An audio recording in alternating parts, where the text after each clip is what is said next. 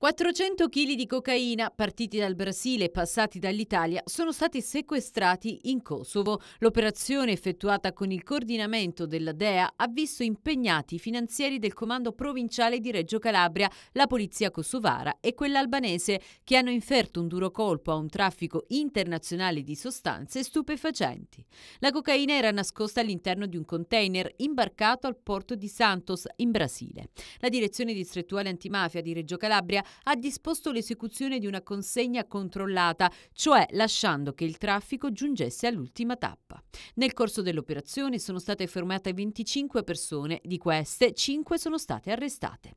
Prima di arrivare a Durazzo, la droga è transitata dal porto di Gioia Tauro. Lì le fiamme gialle e i funzionari dell'Agenzia delle Dogane, attraverso la scansione radiogena, erano riusciti a scoprire i panetti. Grazie anche a un GPS agganciato al container, gli investigatori sono riusciti a ricostruire il percorso. Il blitz è scattato nei Balcani quando la Guardia di Finanza, la Polizia albanese e quella kosovara hanno fermato il camion e sequestrato 400 panetti di un chilo l'uno di cocaina purissima.